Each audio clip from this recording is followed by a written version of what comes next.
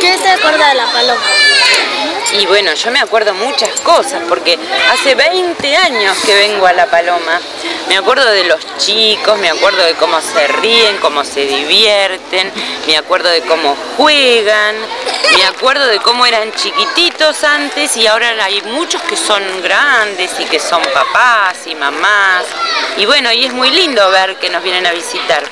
De todas esas cosas me acuerdo. ¿Qué deseo decía para la paloma? ¿Qué deseos? Mira, ¿sabés lo que yo deseo para la Paloma y para todos los chicos de la Paloma? Que este lugar les sirva para recordarnos cuando necesitan algo, cuando tienen algún problema, cuando están tristes, que bueno, en un rinconcito del corazón se acuerden de la paloma y de todas las cosas lindas que vivieron acá. Eso es lo que yo deseo. Vamos a un corte de Tele Paloma y enseguida volvemos.